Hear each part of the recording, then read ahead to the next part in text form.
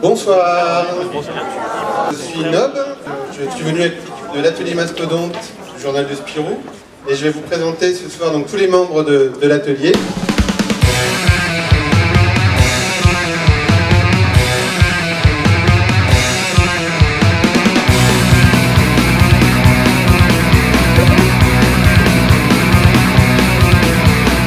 Donc on va vous réaliser une page en direct et en même temps on va vous présenter un petit peu tout le monde, faire des dessins. Comment est né l'atelier Mastodon?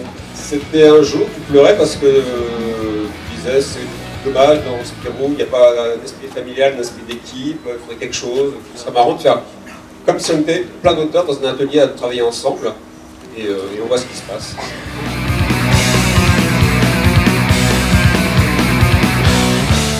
Caractéristique pour rejoindre l'atelier Mastodon, c'est qu'il faut avoir une personnalité. En fait, l'atelier Mastodon, c'est un petit peu comme le, le village des Schtroumpfs.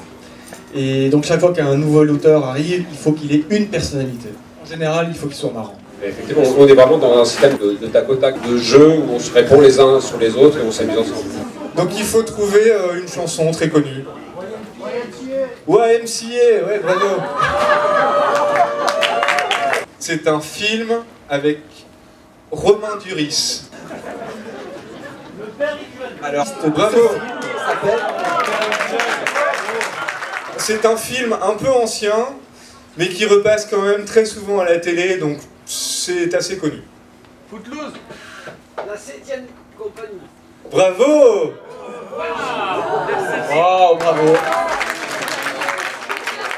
Voilà, le jeu du post-it, c'est quelqu'un du public va écrire le nom de un personnage qui apparaîtra derrière nous, que nous ne verrons pas. Le premier des deux qui trouve a gagné.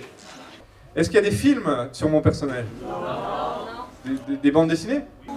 Est-ce que je suis publié dans le journal Spirou? Oh merde